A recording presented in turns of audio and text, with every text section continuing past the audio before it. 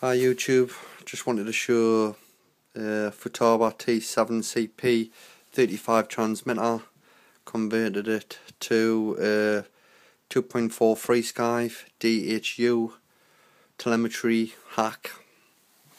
You can see I've put the antenna here and the toggle switch here and the LED and bind switch there. I've got a paper cup there on a FrSky 2.4 which is turned on. As you can see it's receiving no signals whatsoever because of the flashing red light. And this is a helicopter this is my helicopter on 35 megahertz. So first we're gonna go 2.4 as I switch it on there as you can see I've got movement there. Right.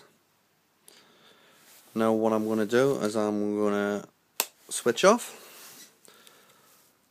As you can see flick the toggle switch and where is bloody oh where's there it is. Put the crystal in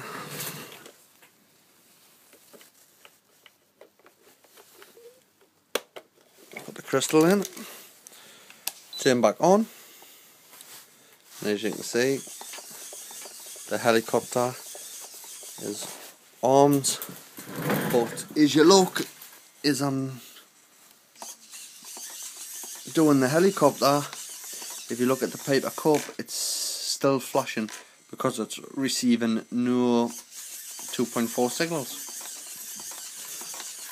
But the helicopter's on 35 as you can.